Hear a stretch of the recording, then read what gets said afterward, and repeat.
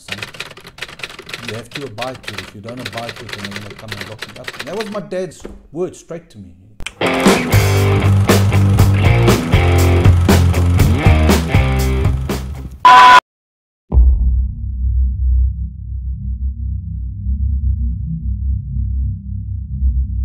How's it folks? Welcome back to another edition of Mashup Vix. I am Jason Batt and this video is almost like a little follow-up from the last video that I made um, but it's also at the same time it's an apology video.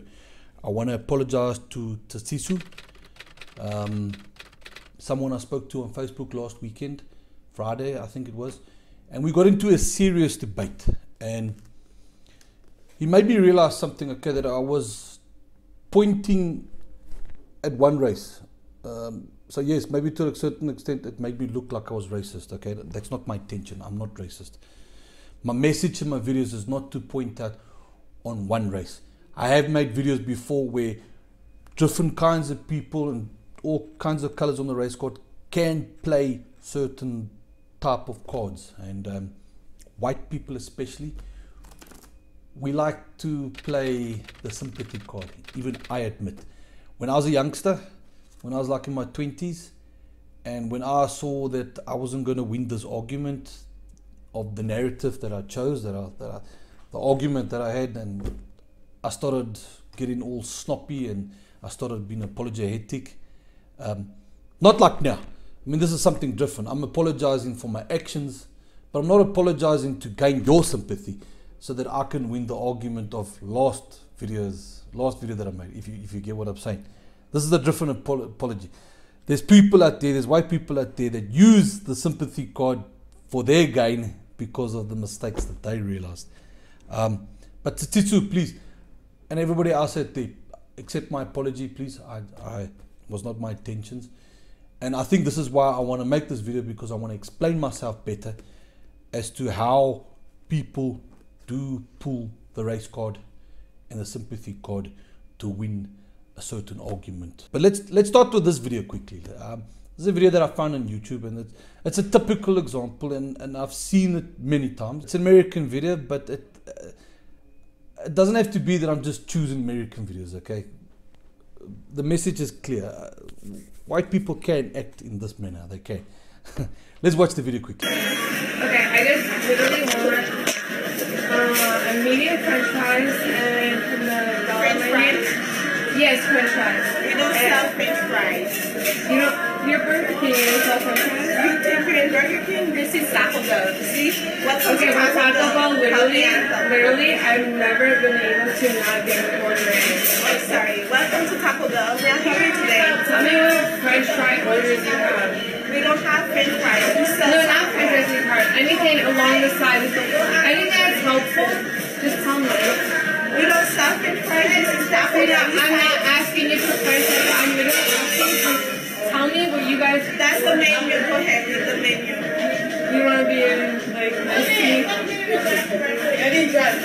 This is racism and it's fucking funny. No, it's not, girl. No, got, it is. got tacos and burritos. Oh, I'm so happy because you have four eyes and like literally no Yeah. And you got zero eyes. Look at the menu. You're ignorant as fuck. Yeah. Why No, I'm not. Like extra literally, trouble? I Yeah, I work are. with people who are challenged every day, and I never Would you go to Burger King and order tilapia or a taco? No, you wouldn't. I That's their didn't. I just ordered French fries. Literally, They don't have like, French fries. see this? They don't have French fries. I know, but it's fucking Burger King. I never come here. King This is Burger King. That's not the point, but what I'm What is asking for, I oh asked her Oh at the my window, I asked her at the window, girl. do you sell french fries? She said nothing to me. Nothing. She just looked at me like, I was a piece of shit. I'm like, okay, I'll go around. Let's, let's try to make the day there. Okay? Let's try to turn this around. Okay, let's okay, let's stop. Let's try to turn this around. I have a headset. I don't have I problems in my life, really. I don't- What would you like? What would you like? We have burritos, we have tacos. I would like, literally, Yes. someone to treat me like a human being. That's what I'm doing right now. I'm having here, so I'm leaving. Okay, have a good night. Have a good night. And yes, there you saw the video, and, and it's true. There's countless videos. So just go on YouTube. I'm gonna quickly put some links in, beneath uh, the description. you watch those videos and come back and tell me that, that this is true, okay? And, and it is true. And um, Tsitsu and I, we were having a heavy, heavy, heavy debate, and it was quite an interesting one. And we were talking about each other's belief systems that's in place, and um, a word that, that I brought to his attention that a lot of us are suffering from. We are suffering from cognitive dissonance. Um, let me just quickly read for you the definition of it. Um, those of you that know it, you know it. I mean, you were you were educated on it. Um, the state of having inconsistent thoughts, beliefs, or attitudes, especially as relating to behavioral decisions and attitude change. Um, that word, cognitive dissonance, has a lot got to do with your indoctrination, your upbringing, how you were brought up.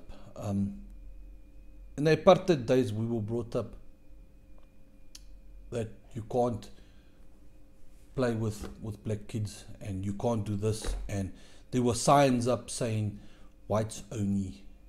Um, a lot of you don't realize that if we, if my dad, for example, had to go up against the apartheid government, he would be locked away for treason uh, because you you going against the government. Okay, a lot of people don't seem to realize this. I myself, but children my age, people of color, black black children that I played with in the park one time, and the cops came and chased us away. And when I went to my dad and I approached my dad and I said, Dad, I was playing with these kids in the in the park, doing nothing. I mean, I was young, man. I was eight, nine years old. And my dad said, It's just the law of the country, my son. You have to abide to it. If you don't abide to it, then they're going to come and lock me up. And that was my dad's word straight to me. That was just the way it is. That was our indoctrination.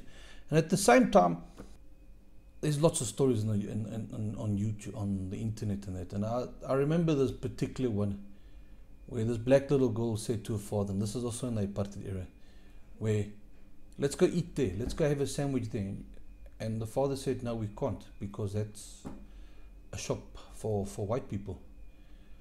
So, yeah, you see our indoctrination, how we were brought up. Um, 24 years since democracy, and we're not really seeing much of a, of a better picture. People have still got lots of hate and anger issues, and the, the TRC, the Truth and Reconciliation, was supposed to amend those issues, and it was supposed to uh, reduce that, that heartache and, and, and get people to forgive each other. But this is this is something. This is a topic that, that, that cannot be forgiven. I mean, what what happened in apartheid years is unforgivable. But now I want to ask now. We are yeah we are 24 years later, and we're living in we're not living in apartheid anymore. We're living in democracy. Democracy is exactly what it is for the people. Um, but people are still, black people are still pulling the race card. Just like the white man, he pulls the sympathy card because he can't really pull the race card because we all know what racism stands for. Um, racism has more got to do with the privilege. The white man that went to school, the white man that always had a motor car, his parents took him to school. Uh, privilege, privilege, stuff that, that a lot of black children out there never had. So when we go on Facebook and when we debate and when we make these type of videos on that, it's because of the narrative, the, my mindset, the way I am ad- addressing issues on that, and people find it offensive because of my background, because of my privilege, and because of my skin. So people like Tsitsu, obviously, he was challenging me, challenging my mindset because his mindset is not like mine. Okay, and this is why we need to break free from that that, that nutshell, that nutshell, that that cognitive dissonance because each of us have got different belief systems. Break free from it. It's time for us to break free from it because we're not going anywhere. We just seem to be going backwards all the time. So let me quickly show you this video. Also, I found it on YouTube, but um, and it was also put on my link on Facebook in it um, about black people pulling the black card, but in, this, in essence, the the, ra- the race card. Let's quickly watch the video. Uh, no, I'm, I'm not going to show you the whole video. I'm just going to show you a quick clip and then I'll leave you the link, and then you can watch the rest of the video because it's, it's quite a long video. Let's just watch a few uh, scenes on, on, on it quickly. You've heard about the black card, right? No, not the one from Visa or American Express. This one is much more valuable. There are entire organizations that have been built upon it, and individuals that have used it to acquire both wealth and influence. If this sounds like something you might wish to own, you should know that there is only one way you can get your hands on it. You have to be born with black skin. That's the only requirement. Really. You can be poor, middle class, rich, it doesn't matter. The black card will still confer upon you an entire history of oppression, even if you've never been oppressed. Flash the black card and most white people will cower. Play the black card expertly and you can win awards, make millions, all the while claiming that the people who got you there somehow hate you. With a black card, you can sell books full of indecipherable prose, because with a card that powerful, who cares if your words make any sense? You can call yourself a civil rights leader and shake down multinational corporations, or you can torch your own neighborhood because you didn't like the outcome of a grand jury verdict. Ironically, the people you might think have the most legitimate claim to the black card refuse to use it. Take my grandfather. Okay. Um, I'm going to ask you now. Do, do, do you think what that lady's saying is right? I, I don't know. I, I can't say much because if I say much, then I'm going to get train smashed. I'm going to get labeled a racist again. And I'm going to get labeled a bias now because I'm now looking at this video. So I'm not going to say much in that video because check check me now. Look at my, my aggression now because I know what's going to happen if I do debate against what that lady said in that video. So let's just leave it at that, okay? So it's rather cool to label myself and label my people that they play the sympathy card because I suppose I'm, I'm used to it. I'm suppose I'm used to white people also swearing at me, but I also know at the same time nothing will happen. But I just don't want someone of the opposite color, the black person, now to label me racist because now they can probably take me to court. You see what I'm saying, people? Our mindset, we are just, we are confused. We are confused. We don't know which way is right and wrong. Our morality, our morality is gone. It's just non existent anymore. It's gone. So, yeah, okay. Yeah. Am I angry now? Did I look angry now? You see, this is the thing about us people. We, we, we, we quick to assume we're quick to make assumptions. And just like the and I that were having that debate on Friday, it was an interesting one, I must say. Um, I like I liked his mindset, and I think I think he felt the same about me. Um, we quickly calmed the situation down. We got to a nice understanding. And Titsitsu, I take my hat off to you. No, you were you were like a Chana. Um, Titsitsu, I promised him that I was going to make a video, and and I did, and I'm sticking to my word. Why? Probably because I want to prove to everyone out there that we don't have to be a racist. We don't have to be biased. Um, educate yourself, equip yourself. Yeah, change your mindset. There's so much out there. Society is not what it is. Uh, 20 years ago, Leon Schuster, when he made his movies, if he had to make the same type of movies today, society would be offended. There would be a lot of hate speech and they would want to see Leon Schuster in court today. This is how society has changed over the last 20 odd years. We're just not the same anymore. We, we, we're going backwards, guys. We really are. And hatred is taking over. And why? Because the politician, the politician, he wants you to think in that way. He wants you to feel this hatred towards everybody. Okay? In, in, in our case, it's it's the white man. It's it's me. The hatred has been shown towards me. The hatred has been shown towards Jan van Riebeeck. Because when Jan van Riebeeck landed here in 1652, our problem started.